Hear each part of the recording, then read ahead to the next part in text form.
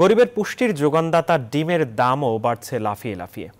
রাজধানী ও এর আশপাশের এলাকায় ডিমের ডজন এখন দেড়শো ছুঁই ছুঁই। আর সারা দেশে বিক্রি হচ্ছে একশো আটত্রিশ থেকে একশো বিয়াল্লিশ টাকায়। খামারি ও আড়তদাররা বলছেন, মুরগির খাবারের মূল্যবৃদ্ধি ও নানা কারণে ডিমের উৎপাদন কমে যাওয়ায় বাড়ছে দাম। প্রতিনিধিদের তথ্যচিত্রে জাহিদুজ্জামানের প্রতিবেদন। এক সপ্তাহের ব্যবধানে ডিমের দাম ডজনে বিশ থেকে পঁচিশ টাকা বেড়ে এখন দেড়শো টাকা ছুঁই ছুঁই। মাছ মাংস আগেই গেছে নিম্ন আয়ের মানুষের নাগালের বাইরে। ডিমের দাম লাফিয়ে লাফিয়ে বাড়তে থাকায় পুষ্টি চাহিদা অপূর্ণই থেকে যাবে বলছেন তারা। মাছ মাংস কিনে খেতাম ওটার দাম তো বাড়ছে। এখন ডিম বাইরে গেছে এটাও আমাদের কিনে খাওয়া লাগবে এখন। আর ডিম কিনে খাব ডিমের দশ টাকা হালি বাড়াইছে তাহলে কোনটা খাব আমরা? বাচ্চা দুইটা মাদ্রাসায় পড়াই। ডিম খাওয়াই ডিমই খাওয়াইতে পারি না।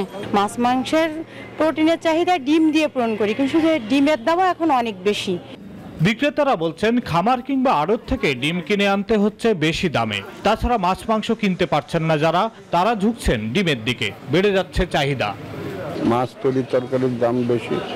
সেই হিসাবে ডিমের উপর খুব চাহিদা বেশি নাকি এরকম বলছে। ওই জন্য ডিমের দামটা অতিরিক্ত বেশি। ফার্মালারা তো মানে ডিম দিতেই চাচ্ছে না এরকম অবস্থা। তাহলে আমার এই দাম হলে পড়তা এই দাম হলে লেন না লেন না। দীর্ঘদিন ধরে মুরগির খাবারের দাম বেশি থাকায় খামারিদের বাড়াতে হয়েছে ডিমের দাম। তাছাড়া লোডশেডিং সহ নানা কারণে ডিমের উৎপাদনও কম হচ্ছে বলছেন তারা। খাদ্যের দাম বেশি আমাদের তাছাড়া আবার ওষুধপত্র কর্মচারী আবার ফির আরও বিভিন্ন রকমের খরচ আছে এগুলোর কারণে। কম উৎপাদনের জন্য ডিমের দামটা বাড়তি। নানা সংকটে লোকসানে পড়ে একের পর এক বন্ধ হয়ে যাচ্ছে মুরগির খামার। সরকারের পক্ষ থেকে এখনই কার্যকর উদ্যোগ না নেওয়া হলে পুষ্টি সংকটে পড়বে জনগোষ্ঠীর বড় একটি অংশ, বলছেন খামারিরা।